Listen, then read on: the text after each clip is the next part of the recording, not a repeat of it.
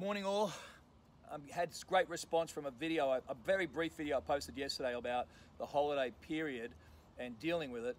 So I thought I'd just take a little more time and talk about managing expectations at this time. And that is the key, is managing expectations, the expectations of others and the expectations you have of yourself.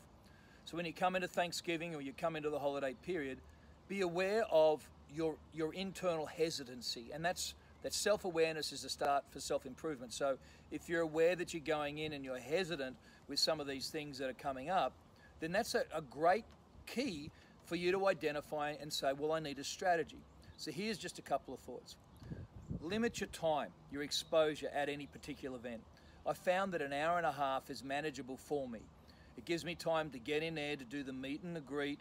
Um, if it's sitting down and having having supper, lunch, whatever it is, uh, presents at Christmas time, then you can get up and go somewhere. So I always go with the exit plan. So that's number one, and set those expectations. Tell people, man, really looking forward to it. I can come from here to here and manage that accordingly. And then I break it down into 45 minute blocks. First 45 minutes is going to be the meet and greet and, and, and milling around. Then there's normally the eating. So now we're sitting up to around 90 minutes. And then I come into a phase where I might give myself half an hour or so to exit out of it. So I'm looking at an hour and a half. I'm looking for two hours, and I'm starting to gracefully um, leave the situation to go and do whatever the next thing is that I have to do. Now, people will be disappointed, but what they won't be disappointed is that it's not going to um, escalate or uh, or um, you know turn into a, a, bit of a poo fight with different people and a, and a tense time for you. So that's that's number one is manage those expectations, and number two is manage your time. Number three is seek out allies. If you're going with a partner or you've got a family member that you're particularly connected with, it might be your, your nephews and nieces. It might be a brother or a sister. It might be a spouse that you're taking with you.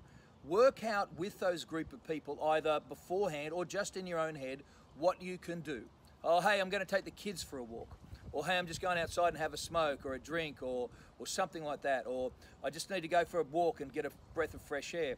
They're little things that you can do to place within those events so that you can do it.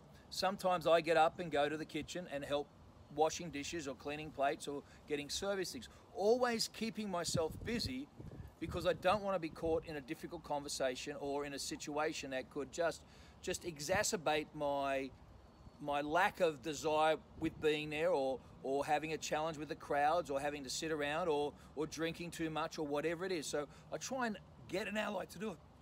The other thing excuse me is i um is with melissa when we go in there i gotta have a drink of water. Sorry about that. Um, the cigar was good this morning but the coffee was a bit rough. I talked with melissa about okay look if a certain phrase or certain something that, that just or, or, a tap on the hand it's normally a tap on the hand or a tap on the leg that just means i'm finding a particular conversation going in a particular direction that i'm uncomfortable with and she'll step in and she'll help take the conversation another way or she'll answer some questions or she'll just get involved with me in that and we often keep track of each other at those events so that I can give her a look, ask her to come over. Hey, babe, why don't you come over here and just for a minute? And she gets involved in it. And that's a great strategy for with couples. Is and it's not a weakness. It's actually a sign of strength that you're aware of what you're facing, and you're also putting in place things to manage it. So there's just a couple of thoughts. I go into that extensively in my book, Deal with It, in managing those sorts of things, because that is a key part of being able to um, negotiate life, negotiate staff meetings, negotiate working with staff, working with other peoples. And I want to encourage you, if you haven't read Deal with It, to get hold of it, get a copy for it, and, and, and go through it with your wife. Highlight things with your husband and talk about the things that you can do together to improve the quality of your life together. Have a great holiday, have an exceptional holiday period, and um, reach out if you need to chat. Cheers.